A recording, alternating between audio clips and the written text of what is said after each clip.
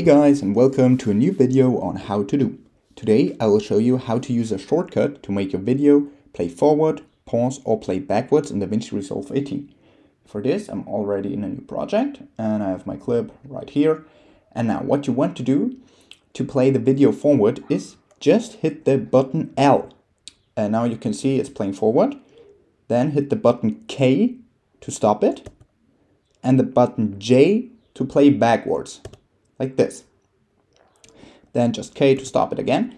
And if you want to play it forward faster or play backwards faster, just hit the L or the J button multiple times. For example, here L again and again, and it's even faster.